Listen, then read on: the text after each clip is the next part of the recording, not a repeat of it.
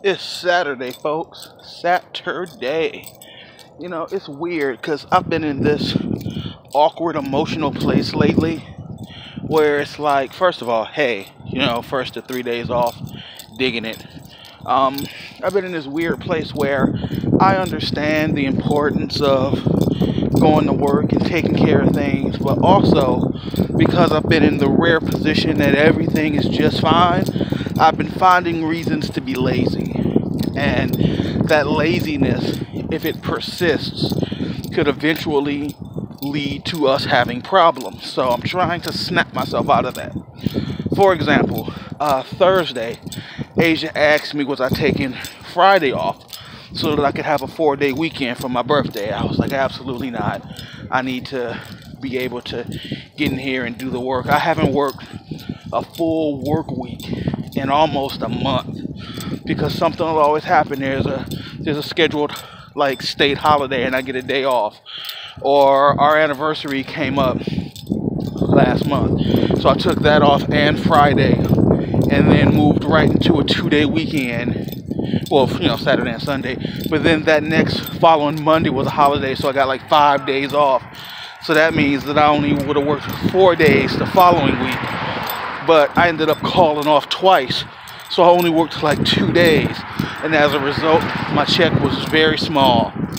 But while it was the free check, I say free check in the sense that there's no such thing as a free check, but the check where all our bills were paid and nothing was accounted for was smaller than it could have been. And I could have done more had I just gone to work. So I've been painting myself into this corner, but I need to understand that, dude, I have an easy job. And all I really have to do is be there, show up, stand around, do the work.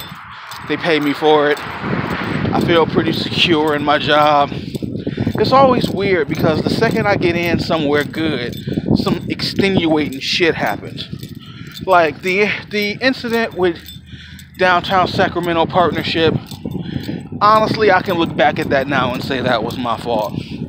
Kari got into it with a cop being snarky, and I had a warrant for some shit that I hadn't taken care of in like 2014. So that was all my fault. To save face, the company let me go, but I collected unemployment, so it was fine. So then I really thought, like, after that, nothing would be cooler. You know, like, I peaked. Like, downtown Sacramento Partnership was all I did was walk around all day. I'm not going to be able to beat that. Then I got a regional transit job where all I had to do was walk around the station for less time and make more money. And I was like, holy crap, this is the best. And what's funny is, on my first day, I'd have to go back and find the video. On my first day at Regional Transit, I remember walking home and one of the guards stopped me and he was like, Yeah, man, we're trying to start a union. More pay, better money. I was like, uh, Man, I really just got this job. I don't want to rock the boat. But that was a prelude to almost a year later, our company lost that contract with Regional Transit. And as a result, I found myself on unemployment again. It was it was kind of a bummer, but not my fault at all.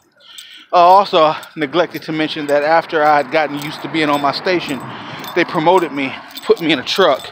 So really, I was just sitting around in my truck watching Netflix and waiting for something to go wrong, and it rarely did.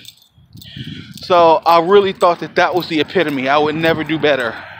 And while I haven't done better in terms of comfort, I am comfortable at my job. I do save money because it's closer. When I was working in the truck, uh, I spent almost $500 a month just on transportation instead of just buying a car. But it was it was always something. So I am very comfortable with what I'm doing now. I'm very relaxed with the people that I work with. Asia is going to work and it'll just be guard work. So it'll be it'll be good shit.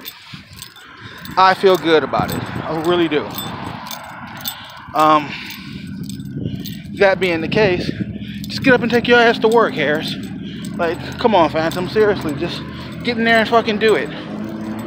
So, next week, uh, I got a four day work week because I'm taking Monday off for my birthday. But after that, it's got to be like, I got to go ahead and just get to work. You know, full fucking schedules. Let's get it done. I'm fortunate enough to have a job where I don't have to worry about hours. Hey, how you doing? So how about I just fucking show up? Uh, speaking, I'm in the store, so let me go. About to pull out some money so I can support my weed habit. So, uh, yeah, I should go. Deuces.